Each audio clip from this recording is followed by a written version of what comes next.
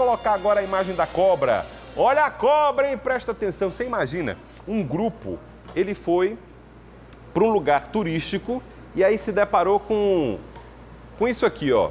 Olha, ó. Esse grupo de turistas, ele resolveu se refrescar num rio que fica em Goiás. E olha o que eles encontraram, olha o tamanho disso. Uma cobra gigantesca. Gigantesca. Um biólogo explicou que ela é popularmente conhecida como anaconda.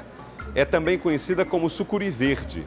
Segundo esse biólogo, a espécie é a maior serpente das Américas, além de ser uma das maiores do mundo. Tem em média 4 metros de comprimento. É como se fosse um magão em cima do outro, hein? Eu tenho 1,90m. É como se fosse um magão em cima do outro, dá o tamanho dessa cobra aí. Ela não é venenosa, tá? Não é como a Maiara Lorena, venenosa. Mas pode matar. Sabe como? Sabe como é que ela mata, André?